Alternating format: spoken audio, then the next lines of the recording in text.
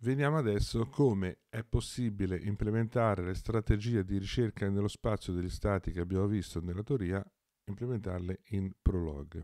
Innanzitutto dobbiamo rappresentare in Prolog lo spazio degli stati, ma si tratta di un'operazione molto semplice perché lo spazio degli stati è un grafo e un grafo lo potremmo rappresentare se abbiamo sufficiente memoria a disposizione mediante un database di fatti del tipo il nodo y è successore del nodo x. Quindi ognuno di questi fatti rappresenterebbe semplicemente un arco e se gli archi fossero etichettati eh, rappresentando l'etichetta il costo della mossa per passare dallo stato X allo stato Y, potremmo eh, concepire questo database semplicemente costituito da fatti con tre argomenti, x, y e il costo per passare dallo stato X allo stato Y.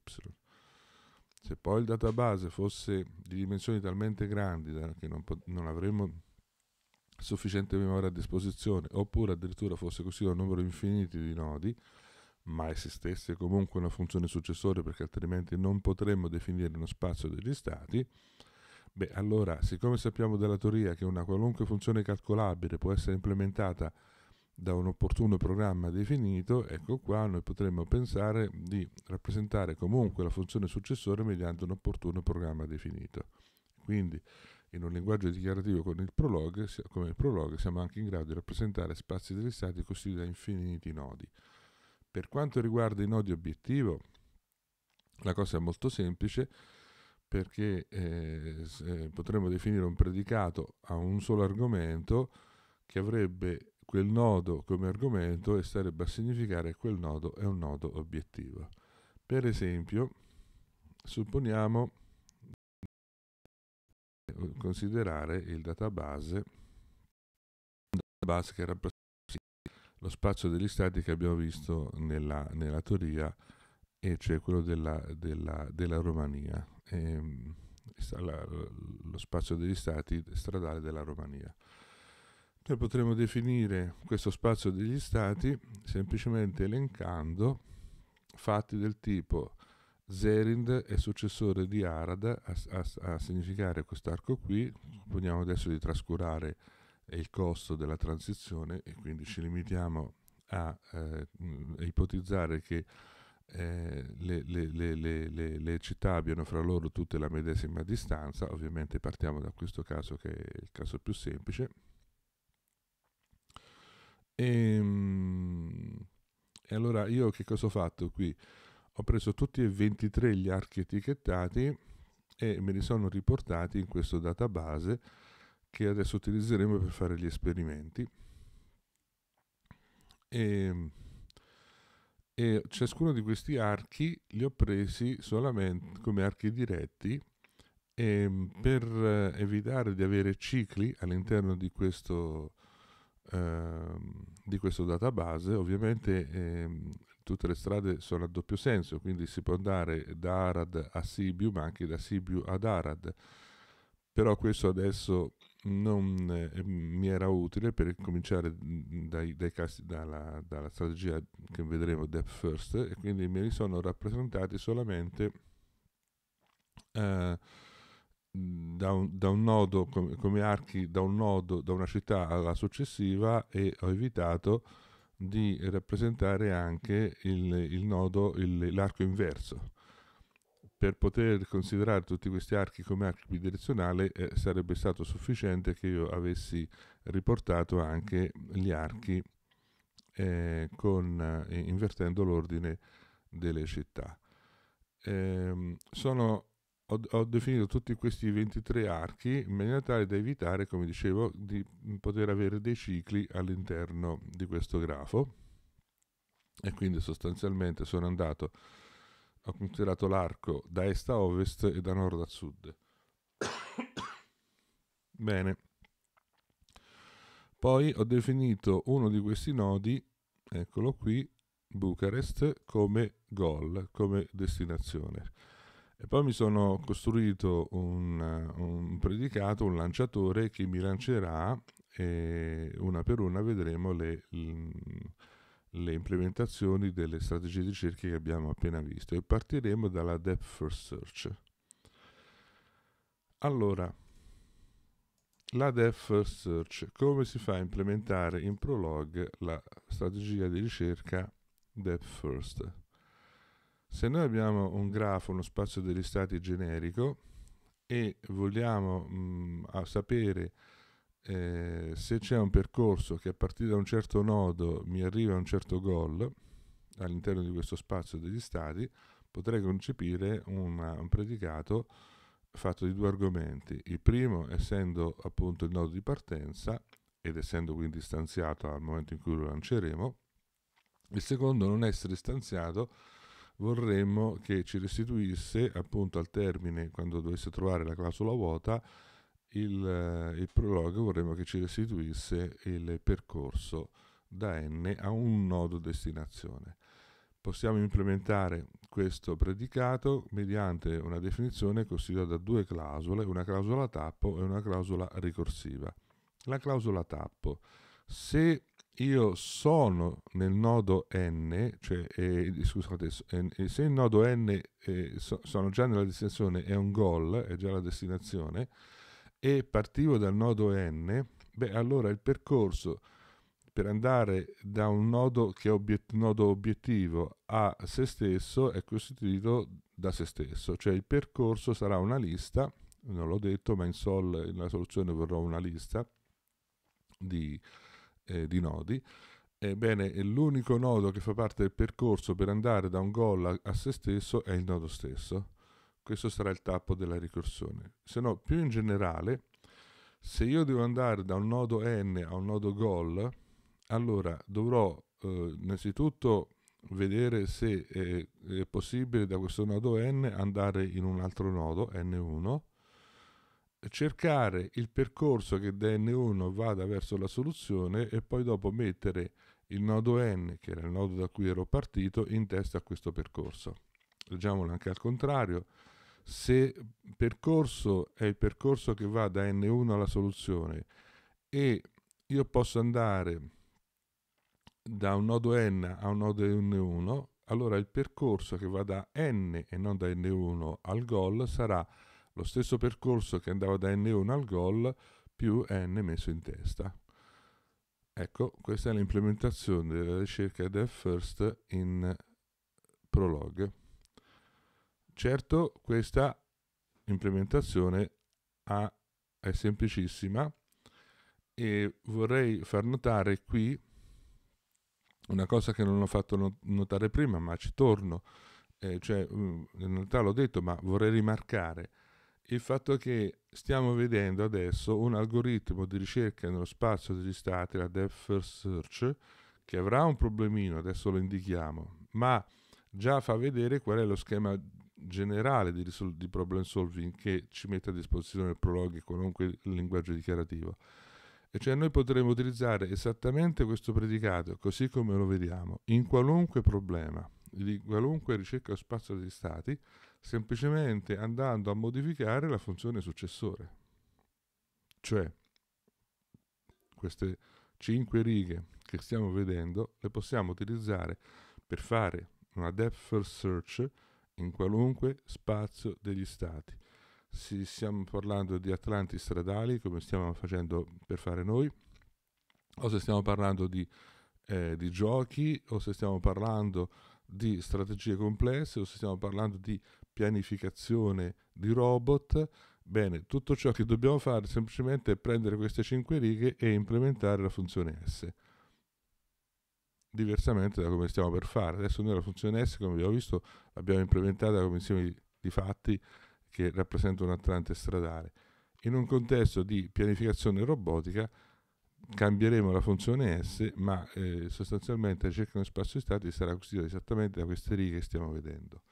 Qual è il problema di questa implementazione? Il problema di questa implementazione è che funziona bene se non abbiamo cicli all'interno dello spazio degli stati, se abbiamo dei cicli, eh, ebbene tenderà questa, questa, questa, soluzione a produrre eh, percorsi rid- ciclici, ridondanti, semplicemente. Quindi eh, se dovesse trovare un ciclo, eh, le soluzioni che mh, passavano per un ramo che non coinvolgeva quel ciclo non saranno poi più trovate perché si andrebbe in loop su quel ciclo. Allora quindi prima di andare a fare l'esperimento vediamo quale potrebbe essere la soluzione. Questo, quindi questo innanzitutto potrebbe essere il problema, anche se, se abbiamo per esempio, un, vabbè, potrebbe anche essere, in questo caso sembrerebbe essere un albero binario lo spazio degli stati, è un caso molto particolare, però qui è stato rappresentato appunto un eventuale ciclo addirittura dovuto al fatto che c'è un arco bidirezionale, quindi avremo un, un ciclo stretto, strettissimo. In pratica cosa succederebbe? Succederebbe che questa ricerca andrebbe in depth first e andrebbe in loop su questo, eh, su questo arco. In generale i loop potrebbero essere coinvolgere più archi ovviamente e mh, mm, se poi abbiamo un, un grafo che non è un albero, allora sicuramente il, quel, quell'alg- quell'algoritmo che abbiamo appena visto andrebbe, andrebbe in loop. E quindi per evitare questo, ecco, questa sarebbe la uh, depth first eh, se, con il controllo dei cicli. Questo è l'analogo a livello dichiarativo, è un analogo a livello dichiarativo della strategia che abbiamo visto, del, dell'algoritmo che abbiamo visto nella, nella parte teorica. La depth first che eh, fa il controllo anche dei cicli. Per fare questo possiamo eh, applicare un, il, il, concetto del, del, dell'accumulatore. Quindi che cosa facciamo? Ci portiamo dentro, ci portiamo dietro, chiedo scusa, la lista dei nodi visitati e mh, mm, questa no, lista dei nodi visitati sarà costituita implementata, come abbiamo visto nella teoria del prologue, come un accumulatore che accumulerebbe dei nodi eh, lungo quel percorso. E, dopodiché, quando andiamo a generare un nuovo successore eh, per metterlo all'interno del percorso, beh, prima di metterlo all'interno del percorso e quindi di andare avanti su quella strada, andremo a vedere se quel nodo successore non fa già parte del percorso, perché se già fa parte del percorso facciamo fallire eh, la generazione di quel nodo e tramite il backtracking andremo a cercare un altro nodo. Cioè il predicato, il predicato avrebbe questa forma. La, abbiamo un, un, lanciatore che ha due argomenti come abbiamo visto prima. Lancerebbe un predicato depth first ehm, che eh, eh, partirebbe da una, da una lista vuota e come inizializzatore e, e, che cosa farebbe? Praticamente andrebbe ad accumulare qui al, al primo argomento i nodi che troverà lungo il percorso. Vediamo innanzitutto questo depth sarà implementato con due clausole, al solito una clausola tappo e una clausola ricorsiva. La clausola tappo, se abbiamo un certo percorso fatto fino adesso e eh, eh, abbiamo un nodo corrente che è il nodo goal, allora noi aggiungeremo questo nodo al percorso che abbiamo trovato e eh, usciremo dal, dal, dal, dalla ricorsione. E questo supponendo appunto che abbiamo già accumulato un percorso strada facendo eh, e siamo arrivati al nodo. Se invece abbiamo accumulato questo percorso ma non siamo arrivati al nodo, parte la clausola ricorsiva, siamo in un certo nodo, andiamo a cercare un successore del nodo, del nodo stesso, chiamiamolo nodo 1, verifichiamo che il nodo 1 non sia membro, cioè non appartenga al, all'accumulatore che abbiamo messo qui al, al primo argomento,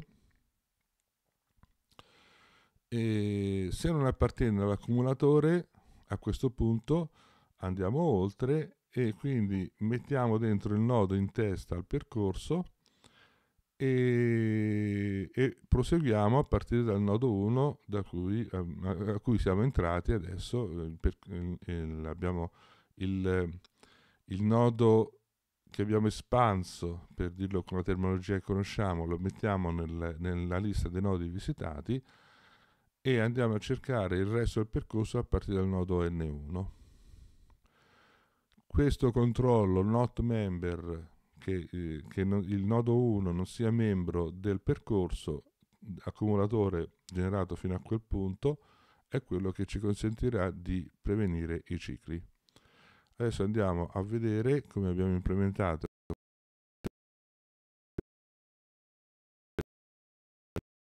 questa è la seconda che fa il controllo di C che abbiamo appena visto l'unica differenza è che qui, sto usando lo swipe prolog il not come sapete nello swipe prolog si implementa in questa maniera qui non, non scrivendo not. E poi eh, qui eh, nel lanciatore mi sono, eh, ho considerate tutte e due, partiamo prima dal caso della più semplice, della, della eh, lanciamo quindi la strategia più semplice, quella che ehm, è, suscettibile di trovare, eh, di incappare in, in cicli infiniti. Uh, torniamo a vedere il database della Romania. E compiliamo il nostro programma credo di averlo già fatto aspetta però per sicurezza lo rifacciamo eh, qui ho utilizzato anche una variabile eh, profondità massima che mi servirà per implementare la depth limited qui in questo momento non viene utilizzato. Comunque sia io dovrò lanciare cerca percorso.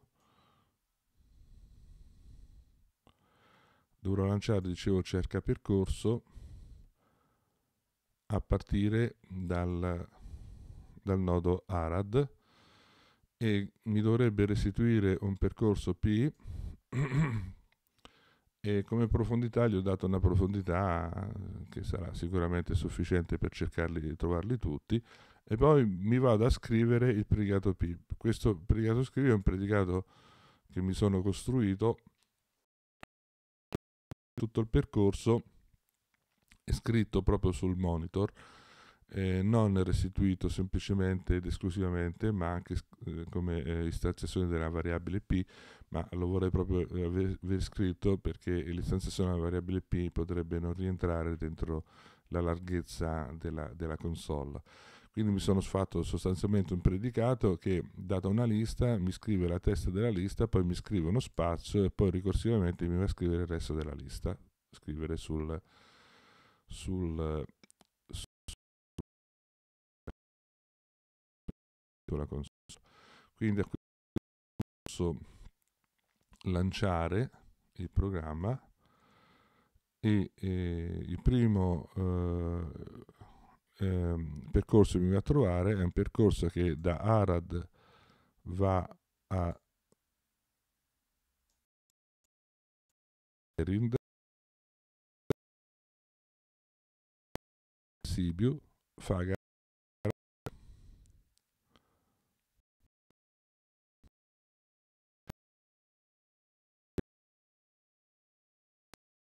mi trova adesso Sibiu, Vilcea, quindi non passa per Fagaras, Craiova va giù, Pitesti risale su Bucarest. Vediamo se ce n'è un altro. Eccolo qui, spero che riusciate a seguirlo. Anche sulla cartina, qui a, qui a fianco.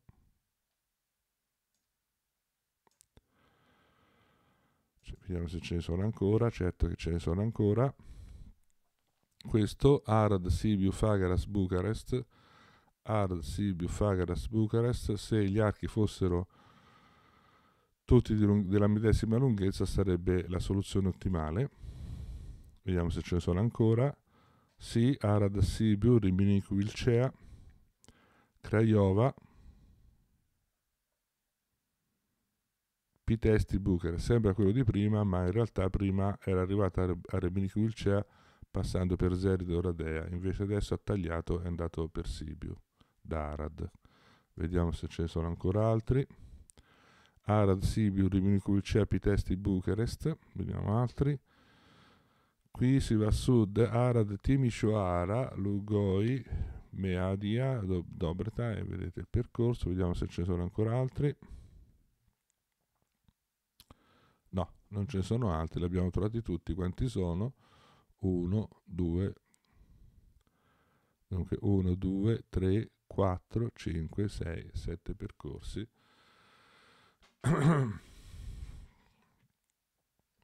ok, adesso vediamo cosa succede, succederebbe se noi andiamo a modificare il database e ci mettiamo che eh, da Sibiu si può andare ad Arad e togliamo il fatto che da, da Arad si possa andare a Sibiu, cioè in, in pratica facciamo l'arco opposto. Quindi si può andare da Sibiu ad Arad, ma non da Arad a Sibiu. Salviamo, ricompiliamo e lanciamo il medesimo goal trova il primo percorso Arad Zerid Oradea Sibiu Faglas Bucarest. Poi trova Arad Zerid Oradea Sibiu Rimini Craiova Pitesti Bucarest poi trova Arad Zerid Oradea Sibiu Rimini Pitesti Bucarest senza passare per Craiova.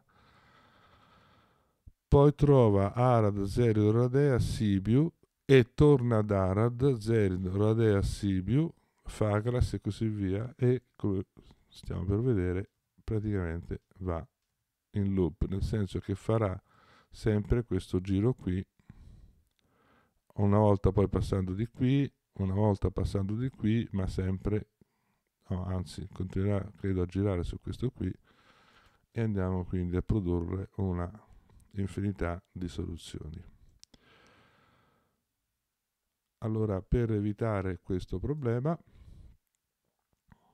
eh, dobbiamo eh, utilizzare il secondo algoritmo. Quindi lanciamo il nostro lanciatore, però questa volta faremo partire la depth first. Non l'avevo detto prima, ma la depth first, quella con il controllo dei cicli, restituirebbe il percorso inverso per come è stato utilizzato, perché è stato implementato perché utilizza un accumulatore che come sapete eh, accumula i, i, i nodi eh, nella, nel, nel, nell'ordine inverso eh, in cui dovrebbero essere istituiti come percorso. Allora per, per ridarli come percorso dal nodo di partenza al nodo, al nodo obiettivo, invertiremo la lista che ci viene restituita per avere il percorso originario e l'inversione la possiamo fare con il predicato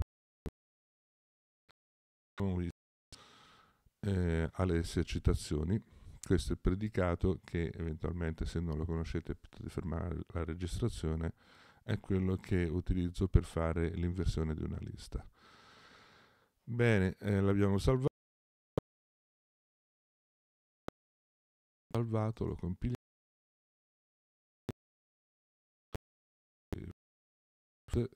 con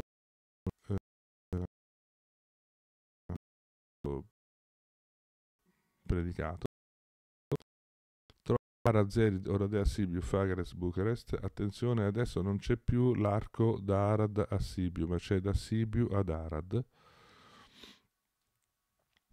trova Arad Zerid Oradea Sibiu Rimilcea Arad Zerid Oradea Sibiu Rimilcea Pitesti Bucarest Arad Timishoara e poi non ne trova più l'arco eh, cioè il percorso che passava da Arda a Sibiu non l'ha trovato, ma soprattutto, come vedete, non è andato in loop. Quindi, ora che abbiamo trovato l'algoritmo che ci consente di non andare in loop, possiamo rimettere le cose a posto, addirittura possiamo aggiungere non solo eh, l'arco, li mettiamo tutti e due perché anche se fossero bidirezionali, gli archi, non, eh, eh, l'algoritmo che abbiamo appena visto non cadrebbe nel loop. Quindi metto, eh, considero tutti gli archi bidirezionali, cioè faccio sostanzialmente il, il database eh, eh, dove ogni arco è considerato in, in, in entrambi gli ordini di percorrenza, risalvo compilo, rilancio lo stesso programma.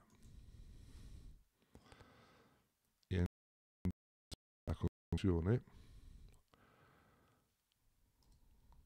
trova il primo percorso, secondo, terzo, quarto, quinto, sesto, settimo,